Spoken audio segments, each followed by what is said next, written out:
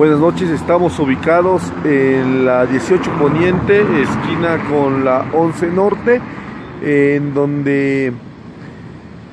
está realizando la Fiscalía General del Estado un operativo de cateo. Vemos que hay un camión tipo mudanza en el exterior de un domicilio y es importante recordar que de acuerdo a los datos dados a conocer en la mañana por el encargado de despacho de la Fiscalía General del Estado, Gilberto Higuera Bernal, se habrían localizado ya las piezas que fueron robadas en el ex hospital de San Roque y fuentes extraoficiales pues ubicaban precisamente estas piezas en un domicilio de esta dirección y eh, todo hace indicar que este operativo de cateo es en relación a este hallazgo, a este aseguramiento y que se está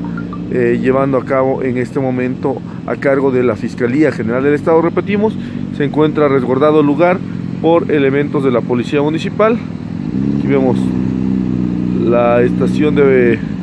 Museo de Ferrocarril del Ruta y pues aquí vemos también cómo siguen las acciones, se presume que serán durante el resto de la noche